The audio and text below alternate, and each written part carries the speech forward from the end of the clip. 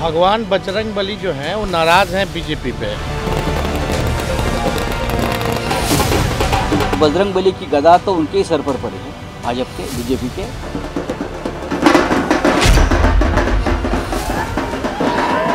कर्नाटक का चुनाव प्रचार जोरों पर था। इस बीच कांग्रेस ने अपना घोषणा पत्र जारी किया जिसमें बजरंग दल को बैन करने की बात कही गई। बीजेपी को बैठे बैठाए एक मुद्दा मिल गया।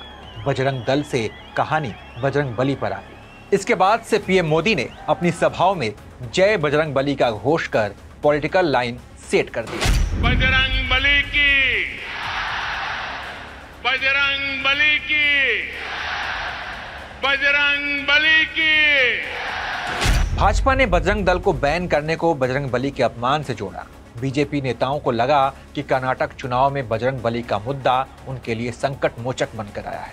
लेकिन कांग्रेस के जमीनी नेता डीके शिव कुमार के सामने बजरंग दल का मुद्दा फीका पड़ गया। कांग्रेस ने बजरंग दल के मुद्दे को हावी नहीं होने दिया। भ्रष्टाचार का मुद्दा उठाया। एक तरफ़ जहाँ भाजपा के नेता जय बजरंग बली के जयकारे लगा रहे थे तो वहीं दूसरी तरफ़ कांग्रेस 40 परसेंट सरकार का नारा लगा रही थी।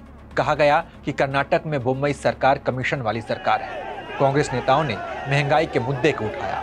वोटिंग से पहले तो कांग्रेस ने गजब का अभियान चलाया। सिलेंडर को पूजा करने के बाद कांग्रेस के नेता और कार्यकर्ता वोट डालने गए।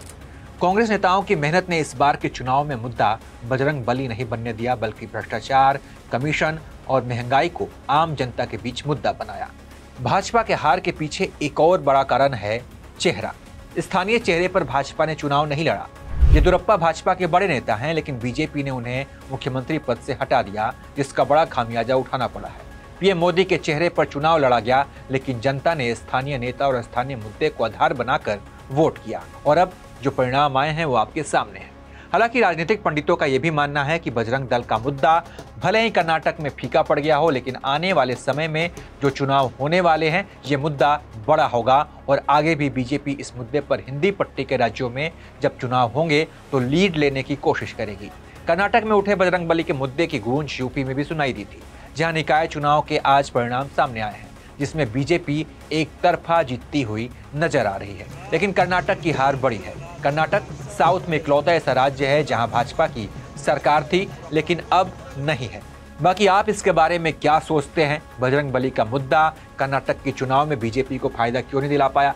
इसके बारे में आप अपनी राय हमें कमेंट करके ज़रूर बताइए, और तमाम अपडेट्स के लिए आप देखते रहिए एबीपी लाइव